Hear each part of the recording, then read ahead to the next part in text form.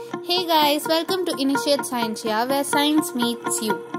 Be cool, comfortably watch our videos and all the best for your upcoming exams. Stay safe and be healthy. Machines It is a common experience that it is much easier to open a nut by using a wrench rather than by hand. It is difficult to pull up a bucket of water directly from a well, but it becomes much easier to pull it up with the use of a pulley. It is difficult to shift a heavy block by pushing it, but it becomes easier to shift it by using a crowbar. We find many such examples in our daily life where the use of a machine such as a wrench, pulley, crowbar, etc. makes the job easier. Function and uses of machines. Simple machines. The various functions of machines are useful to us in the following four ways. 1. In lifting a heavy load by applying less effort, that is, as a force multiplier. Example, a jack is used to lift a car, a bar is used to lift a heavy stone, a spade is used to turn the soil, pulleys are used to lift a heavy load, a wheelbarrow is used to carry a load. In all these examples, the effort is much less than the load. So the machine acts as a force multiplier in changing the point of application of effort to a convenient point. Example, the rear wheel of a cycle is rotated by applying effort on the pedal attached to the tooth wheel which is joined to the rear wheel with the help of a chain. Thus the point of, point of application of effort is changed from the pedal to the rear wheel. Wheel 3. In changing the direction of effort to a convenient direction. Example, if a bucket full of water is lifted up from a well without the use of a pulley, effort has to be applied upwards. By using a single fixed pulley, it becomes possible to lift the bucket from the well by applying the effort in downward direction instead of applying it upwards. Thus, the person lifting the bucket up may also use his own weight as effort. 4. For obtaining a gain in the speed, that is, a greater movement of load by a smaller movement of effort, Example, when a pair of scissors is used to cut a cloth, its blades move longer on cloth, while its handles move a little. The blade of a knife moves longer by a small displacement of its handle. Here, the effort is more than the load. Hence, we define a machine as below. A machine is a device by which we can either overcome a large resistive force or load at some point by applying a small force or effort at a convenient point and in a desired direction or by which we can obtain a gain in speed. Technical terms related to machine. Load. The resistive or opposing force to be overcome by a machine is called its load. Effort. The force applied on the machine to overcome the load is called effort. Mechanical advantage MA. The ratio of load to effort is called mechanical advantage of the machine. MA is L by E. While using a machine to overcome a certain load, if the effort needed is less than the load, the machine has mechanical advantage greater than 1, while if it needs an effort greater than the load, it has mechanical advantage less than 1. A machine has mechanical advantage equal to 1 if the effort needed is equal to the load. A machine having mechanical advantage greater than 1 acts as a force multiplier, while a machine having mechanical advantage less than 1 gives gain in speed. The machine having mechanical advantage equal to 1 is generally used to change the direction of effort as there is no gain in force or speed. Note, a machine can be used cannot be used as a force multiplier as well as speed multiplier simultaneously. For a machine used as a force multiplier, effort is less than load, while for a machine used to obtain gain in speed, effort is more than load. Next. Unit. Since mechanical advantage is the ratio of two similar quantities, or forces, so it has no unit. Velocity ratio VR. The ratio of the velocity of effort to the velocity of load is called the velocity ratio of machines. It's that is velocity ratio VR is velocity of effort VE by velocity of load VL. If DL and DE are the distances moved in the same time T by the load and the effort respectively, then velocity of load VL is DL by T, velocity of effort VE is DE by T. Velocity ratio VR is VE by VL that is DE by T or divided by DT DL by T. So TT gets cancelled and it is DE by DL. Thus, velocity ratio is also defined as the ratio of the displacement of effort to the displacement of load. A machine in which the displacement of load is more than the displacement of effort will have velocity ratio less than 1 and such a machine gives gain in speed because load is moving at a faster rate. On the other hand, if velocity ratio of a machine is more than 1, that is, the displacement of load is less than the displacement of effort, the machine acts as a force multiplier. The velocity ratio of a machine is 1 if the displacement of the load is equal to the displacement of effort. Such a machine generally changes the direction of effort. Unit. Since velocity ratio is also the ratio of two similar quantities distance or distances, so it has no unit just like MA, that is mechanical advantage. Work input. The work done on the machine by the effort is called work input. Work input is work done by the effort. Work output. The work done by the machine on the load is called work output. Work output is work done on the load. Efficiency. Efficiency of a machine is the ratio of the work done on the load by the machine to the work done on the machine by the effort. In other words, efficiency is the ratio of work output to work input. It is denoted by the symbol eta. Efficiency eta is work output uh, by work input.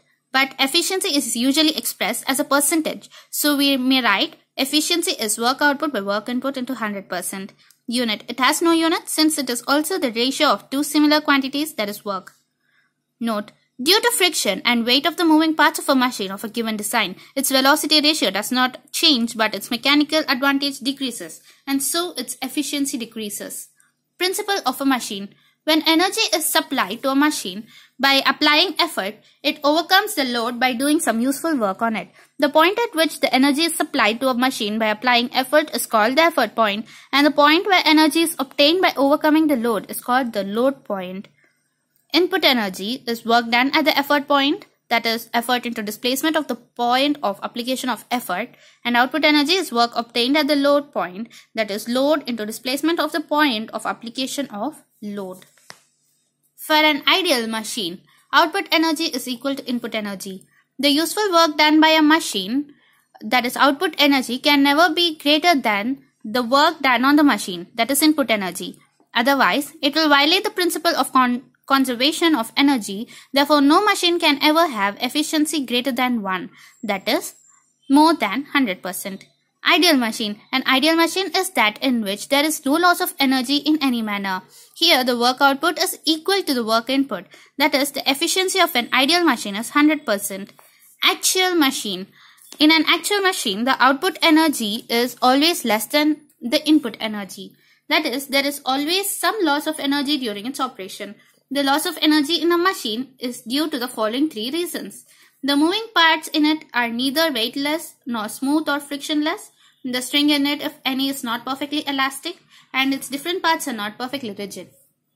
Note, the most prominent loss in energy is in overcoming the force of friction between the moving parts of a machine. The energy so lost appears as heat due to which the moving parts of a machine get heated. If a machine is 80% efficient, it implies that 80% of the total energy supplied to the machine at the effort point is obtained as useful energy at the load point. The remaining 20% of the energy supplied is lost in overcoming the force of friction, etc. And it appears as heat energy in its different parts due to which they get heated up. Relationship between efficiency, mechanical advantage and velocity ratio. Suppose a machine overcomes a load L by the application of an effort E in time t. Let the displacement of effort be dE and displacement of load be dL. Work input is effort into displacement of effort, E into dE. Work output is load into displacement of load, that is L into dL. By definition, uh, efficiency is work output by work input. From equations 1 and 2, we get Eta is L into dL by E into dE. So L into dL, let's separate it. Um, L by dE into dL by dE. Now reciprocating it, LE is MA, dE by dL is VR. So efficiency eta is MA by VR. So MA is VR into efficiency. Thus, the mechanical advantage of a machine is equal to the product of its efficiency and velocity ratio. Note, for an ideal machine free from friction etc., work output is equal to work input. So efficiency is equal to 1 or 100% and the mechanical advantage is numerically equal to the velocity ratio. In actual practice, mechanical advantage for all practical machines is always less than its velocity ratio. MA is less than VR or output work is always less than input work. So, the efficiency is less than 1. Efficiency eta is less than 1 due to some loss of input energy against the force of friction, etc. Levers. Levers are the simplest kind of machines used in our daily life. A lever is a rigid, straight or bent bar which is capable of turning about a fixed axis.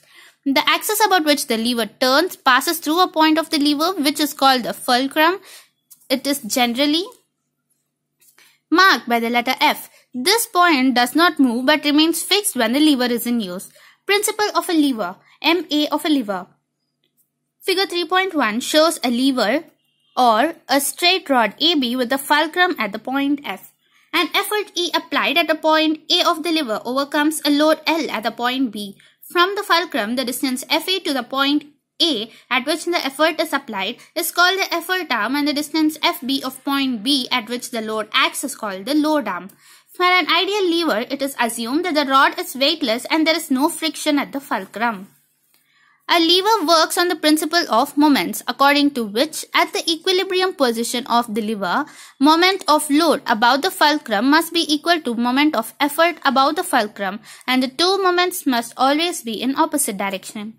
In figure 3.1, moment of load L about the fulcrum F is clockwise, while the moment of effort E about the fulcrum F is anti-clockwise.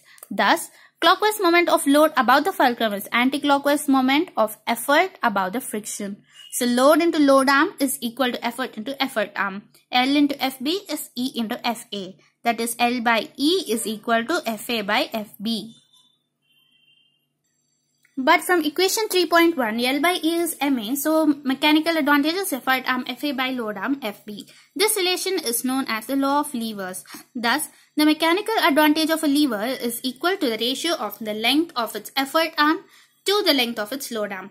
From equation, it is clear that it's if effort arm is equal to load arm, MA is 1. If effort arm is greater than load arm, MA is greater than 1. If effort arm is less than load arm, then MA is less than 1. Obviously, the mechanical advantage of a lever can be increased either by increasing its effort arm or by decreasing its load arm, that is by shifting the fulcrum towards the load. Kinds of levers. Depending upon the relative position of effort, load and fulcrum, there are, the, there are following three types of levers. Class 1 levers, Class 2 levers and Class 3 levers. Class 1 levers. In this type of levers, the fulcrum F is in between the effort E and load L as shown in figure 3.1a. Note that the fulcrum F need not be at the point midpoint between load L and the effort E. But the load and effort are on either side of the fulcrum acting in the same direction while producing rotation in opposite sense. Example, a seesaw, a pair of scissors, crowbar, handle of water pump, claw hammer, pair of pliers, beam of a physical balance, spade used for turning soil, spoon used to reopen the lid of a tin can, catapult and nodding of the human head. A few examples of class 1 levers. For class 1 levers, the mechanical advantage and velocity ratio can have any value either greater than 1, equal to 1 or less than 1. Okay. When the effort arm is longer than the load arm, the mechanical advantage and the velocity ratio of an ideal class 1 lever are greater than 1. Such a lever serves as a force multiplier, that is it enables us to overcome a large resistive force load by a small effort. For example, shears used for cutting thin metal sheets have much longer handles as compared to its blades. Similarly, a crowbar, claw hammer, plier and spoon used to open the lid of a container have long handles or long effort arms. If an ideal class 1 lever has effort arm and load arm of equal length, then both its mechanical advantage and velocity ratio are equal to 1. For example, a physical balance with both arms equal in length have mechanical advantage and velocity ratio equal to 1. When an ideal lever of class 1 has effort arm shorter than load arm, both its mechanical advantage and velocity ratio are less than 1. Such levers are used to obtain the gain in speed because velocity ratio less than 1 implies that dl is greater than de, that is displacement of load is more as compared to displacement of effort. For example, a pair of scissors whose blades are longer than its handles is used to cut a piece of cloth or paper so that the blades move longer uh, on the cloth or paper when the handles are moved a little. A long handle oar used for rowing a boat by a single person acts as a lever of class 1 as shown in figure 3.3 it's over here. The point at the edge of the boat at which the handle rests acts as a fulcrum F. The boatman applies the effort E at its one end by keeping the effort arm shorter than the load arm so as to give a large moment to the blade of the oar to push water, that is load L, back to a longer distance, that is gain in speed. The force of reaction exerted by water on the boat moves the boat forward. Its mechanical advantage is less than 1. Class 2 levers. In this type of levers, the fulcrum F and effort E are at the two ends of the lever and the load L is somewhere in between the effort E and the fulcrum F as shown in figure 3.1b. The load and effort are on the same side of the fulcrum but acting in opposite directions. Here the effort arm is always longer than the load arm. Therefore, from equation 3.10, MA is always greater than 1 and since in an ideal machine MA is equal to VR, hence VR is also greater than 1. Thus, the mechanical advantage and velocity ratio of class 2 levers are always more than 1. In other words, a class 2 lever always acts as a force multiplier. That is, less effort is needed to overcome a large load. For example, in a nutcracker, a hard nut is broken by applying a small effort. Example, a nutcracker, a bottle opener, a wheelbarrow, a lemon crusher, a paper cutter, a mango cutter, a bar used to lift a load, a door raising the weight of the human body on toes are examples of class 2 levers. Some of these are shown here in the figure. Note, let the arm of a class 2 lever be 10 cm and load arm be 4 cm. Then in an ideal case, eta is 1, its um, mechanical advantage is 10 by 4, 2.5. So its VR will also be 2.5. In actual lever, if the efficiency is 0.6, MA is less than VR, then VR remains 2.5, but its MA becomes 2.5 times 0.6, that is 1.5. That is, it decreases from 2.5 to 1.5. Class 3 levers. In this type of levers, the fulcrum F and the load L are at the two ends of the lever and the effort E is somewhere in between the fulcrum F and the load L as shown.